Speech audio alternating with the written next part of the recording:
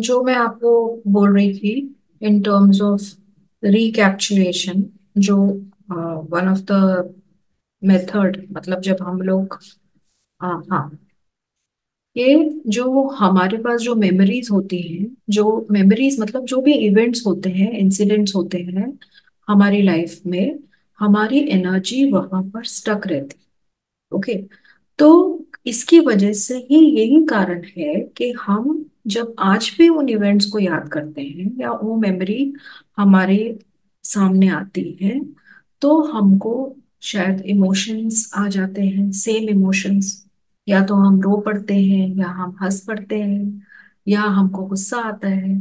तो इसका मतलब क्या है कि वो इवेंट जो है वो मरा नहीं है है ना? भले बहुत साल हो गए हैं, बहुत समय बीत गया है, लेकिन उसकी मेमोरी ही नहीं ताज़ा है, वो इवेंट हमारे स्पेस में है। तो हम उसके स्पेस में है या वो हमारे स्पेस में है? इसका मतलब कि हमारी एनर्जी जो है वो कहीं ना कहीं ब्लॉक्ड है। तो अब जब हम बात करते हैं अपनी एनर्जी फ़ील्ड की, ठीक है? तो अब जैसे कि आशा जी, आपका एक एनर्जी फ़ील्ड है, एक मेरा एनर्जी फ़ील्ड है है ना? हम सबके अपने इंडिविजुअल एनर्जी फ़ील्ड भी है, इसके अलावा के एनर्जी ऑल अराउंड अस तो हम जब ऑल अराउंड अस की बात कर रहे हैं तो तो हम बोलते हैं कि इनफाइनाइट एनर्जी है। आपको जितनी चाहिए आप ले लो। जो भी है यूनिवर्स में, वो अबंडेंस में है। ऐसा नहीं है कि आशा जी ने लिया तो मुझे नहीं मिलेगा मैं, मुझमें अगर लेना है या मैं वो मांगती हूँ तो मुझे भी मिल सकता है। जस्ट बिकॉज़ उन्होंने कुछ लिया है, मेरा कम नहीं मुझे। Okay okay? लेकिन पर्सनल जो एनर्जी फ़ील्ड है वो तो लिमिटेड है ना, क्योंकि हम अपने हिसाब से, अपनी रिक्वायरमेंट के हिसाब से, अपने सोच के हिसाब से, अपने तौर तरीके के हिसाब से अपनी एनर्जी फ़ील्ड को बना रहे हैं या रख रहे हैं। तो अगर मेरी इतनी एनर्जी फ़ील्ड है, उसमें से मैं कुछ परसेंटेज इसको दे दूँ, कुछ परसेंटेज ये इवेंट में रख दूँ, कुछ परसेंटेज इधर इसके साथ ब्लॉक रख दूँ, इस रिलेशनशिप में ब्लॉक रख दूँ तो आप सोचो कि कितना परसेंटेज ऑफ़ योर रिलेटेड जो एनर्जी फ़ील्ड है, वो पिल्फरेज हो जाएगा और जो आपके पास बचेगा, वो कितना लिमिटेड हो जाएगा। कम होगा कि नहीं होगा? कि उतना ही रहेगा, जितना कम होएगा ना। तो उसके लिए ज़रूरत है कि हम जहाँ पे भी हमारी एनर्जी स्पेस है, वहाँ से एनर्जी को रिट्रीव करें, उसको वापस लेके।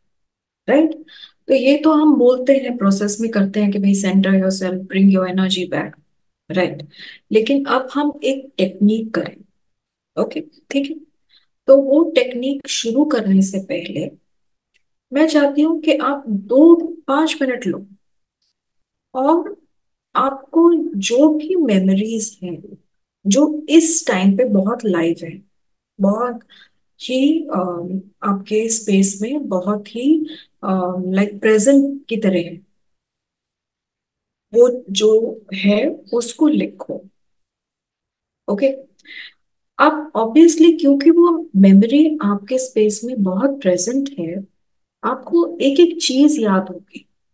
किसने क्या कहा कौन कौन था, कौन कैसी, किस जगह पे ये इंसिडेंट हुआ, किस टाइम पे ये इंसिडेंट हुआ, आपकी क्या एज थी जब ये इंसिडेंट हुआ। राइट तो ये आप ऐसे अपने दिमाग में जस्ट थोड़ा उस पर फोकस करेंगे then we will start technique ठीक है?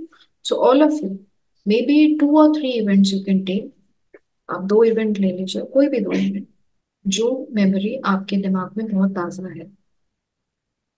और आपको बहुत डिस्टर्ब करे। अभी। ठीक है? So I am giving everyone just two three minutes आप लोग इस पर फोकस कीजिए and then we will start the technique